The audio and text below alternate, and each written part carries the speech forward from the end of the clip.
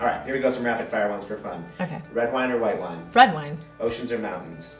Oh, mountains. Favorite topping on pizza? Hawaiian things. Worst worst topping on pizza? Mm, onions. Yanny or Laurel? Yanny! People would be surprised that I.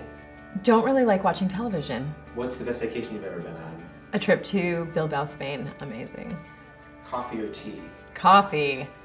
What's your definition of romance?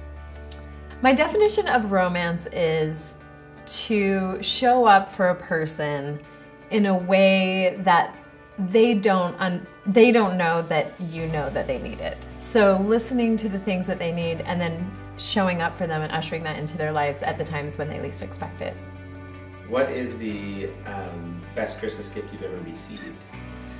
This is, I know that this isn't the right one, but the first year that I did Christmas all by myself as a single mom was the first Christmas that no one had ever helped us. And I remember sitting in my bedroom surrounded by presents and thinking, oh my gosh, I was able to create this for my children all by myself.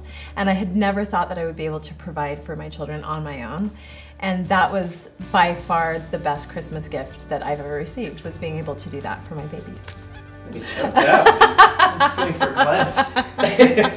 So when I'm not shooting for a client or shooting for an assignment, I have found that just carrying my camera around and capturing things that catch my attention, uh, taking pictures of people that I love has been one of the most satisfying ways to feel like I am not just a creative and able to express my creativity, but able to share that with other people that I love. So I have become like the annoying person who's like pulling people for their headshots at, at parties just because I love being able to share my own creativity and like give it to other people.